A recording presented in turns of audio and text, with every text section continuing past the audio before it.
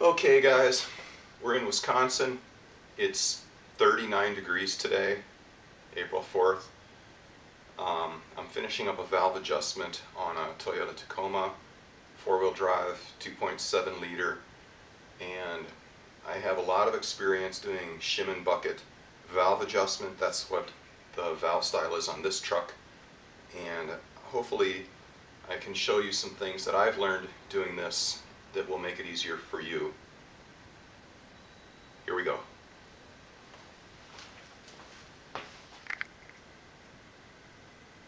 Okay, I'll show you some of the, the things involved in this job.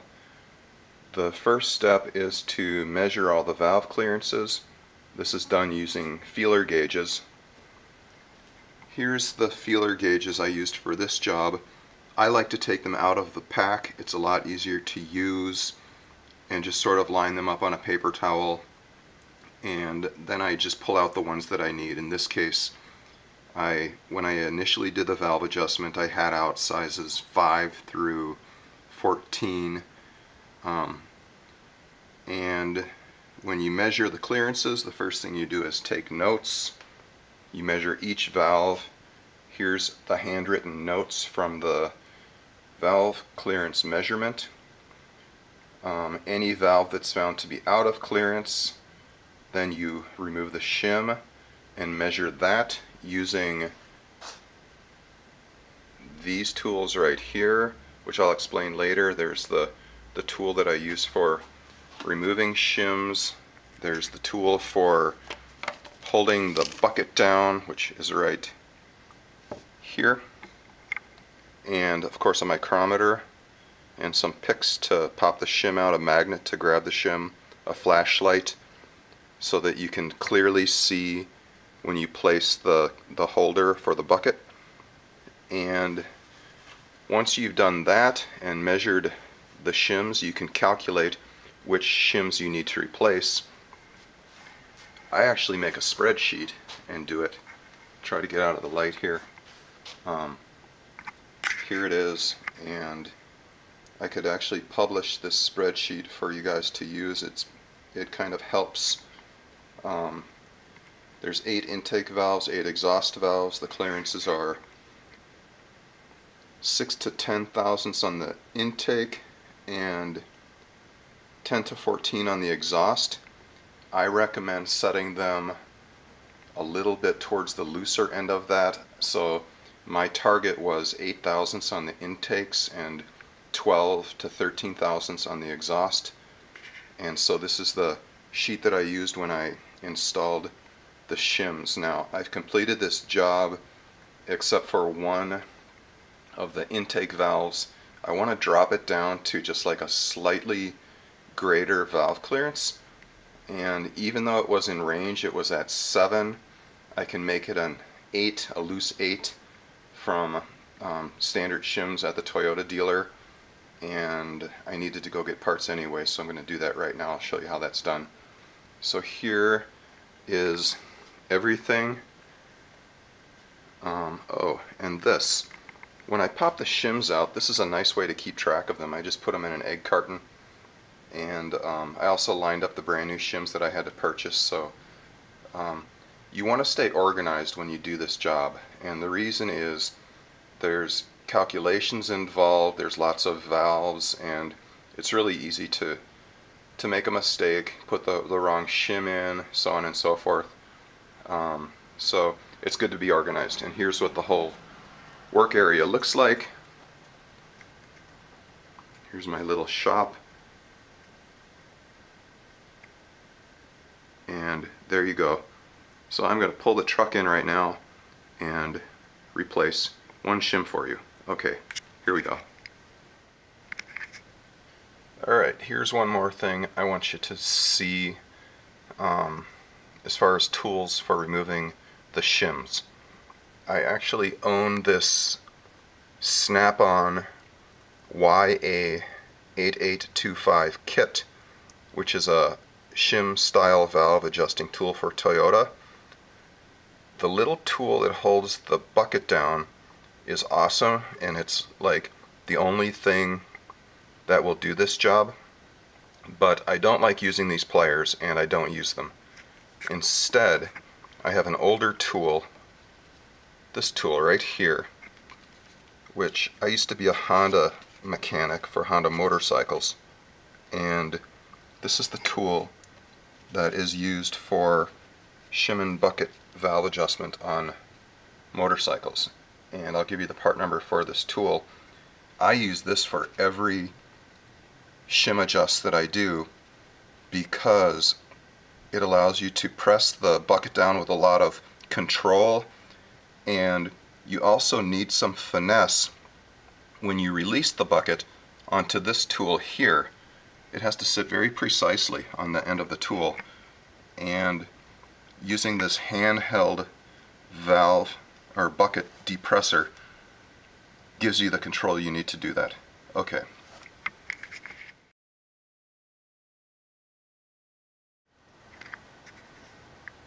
Alright, let's get started. I brought the truck in and have the hood up and as you can see it's good to have a lot of light when you do a job like this. You really need to see what you're doing um, so you have a lot of control. I use this milk crate to stand on. It gets me up high enough to get in position to do the valve work. I'll put it on this side for doing the intake valves and the other side for doing the exhaust valves.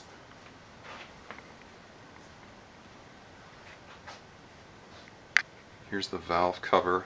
Just held on with two bolts right now. Um, like I said, I started this job before and I'm going to finish it up right now. So I'll go ahead and pull this cover off and get started.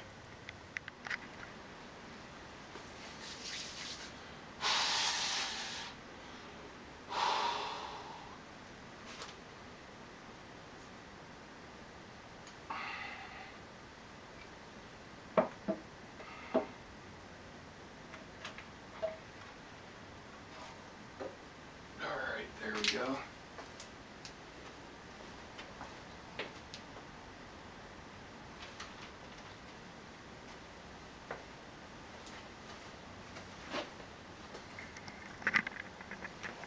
Got the valve cover off and we are going to be replacing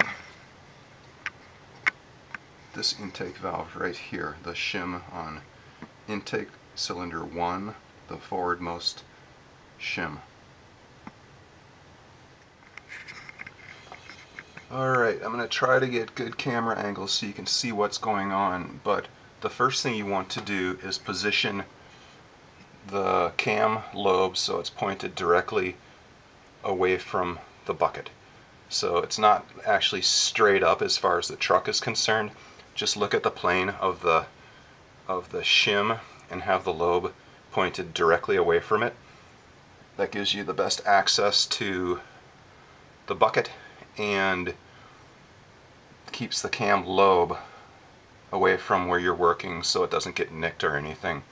Now you see the little groove right here. I have it positioned right where I want it. This is it's real easy to rotate the the bucket and you can get that groove in any position. I like it right about there because once you push the the bucket down you'll use that groove to pop the shim out. Okay, that's the best I can do with the camera. And I'm afraid that you're not going to be able to see this because my hand will be in the way but let's give it a try. Oops. Okay.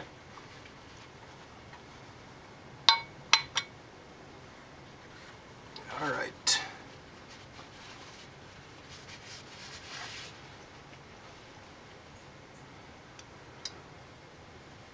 Using this tool here,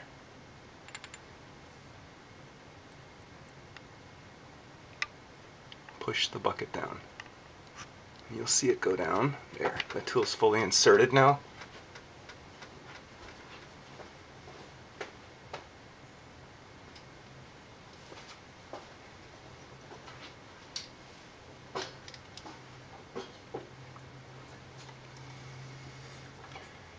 Use this tool to hold the bucket down.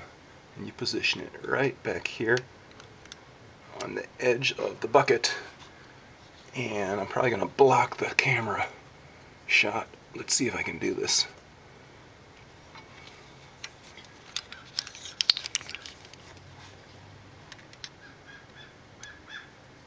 Okay, right where I want to be, right here.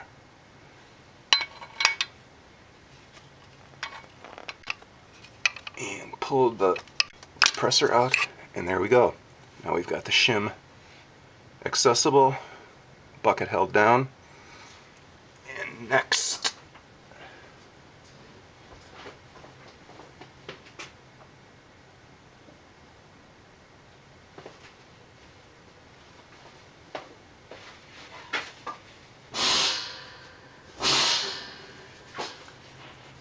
we use a pick to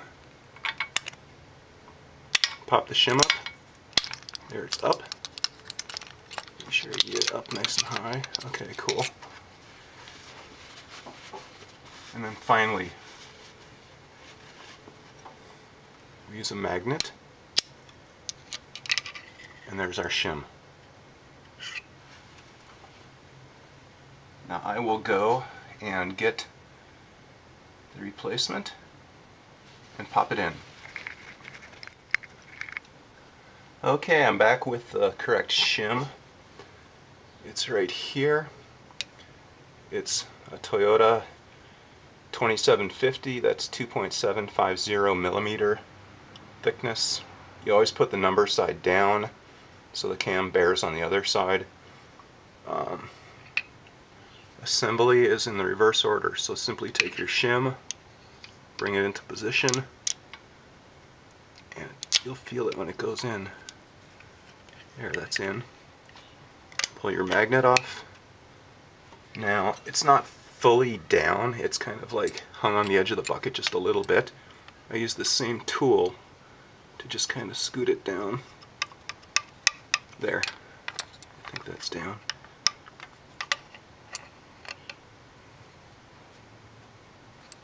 Yep. That's all the way in and then you simply press the bucket back down. You saw the tool move. Pull the holder out and then remove the depressor. It's that simple. Much better than using that pliers.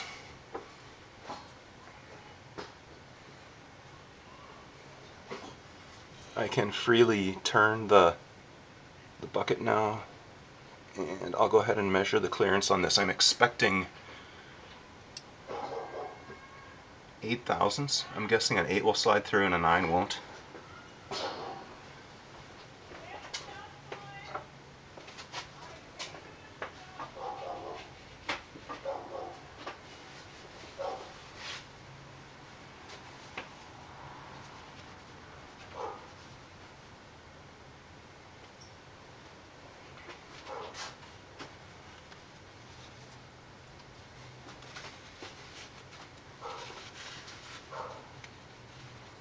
Here's the 8 thousandths feeler gauge.